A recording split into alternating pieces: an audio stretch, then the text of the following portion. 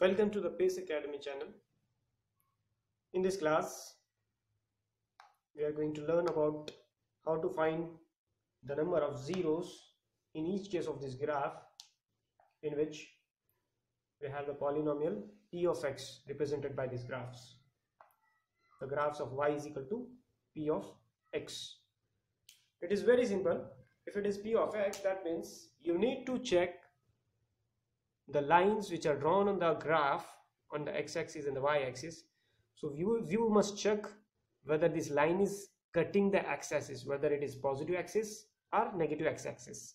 In the first graph you can see it is not intersecting at no point uh, there is no point of intersection at the x-axis. So the number of zeros in this case are zero for this Coming to the second graph, if you check the x-axis, it is intersecting at this point. The answer is 1. The number of zeros is 1.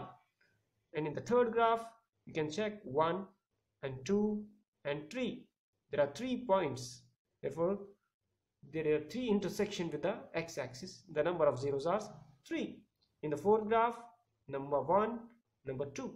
So there are 2 intersections with the x-axis so number of zeros are in this case 2 the last graph you can see 1 2 3 and 4 so the number of intersections are 4 the number of zeros are 4 in this case. This is how the way to find out the number of zeros.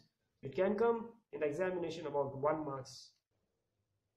In the next class we will see some more problems of the syllabus. So please subscribe and share our videos Thank you.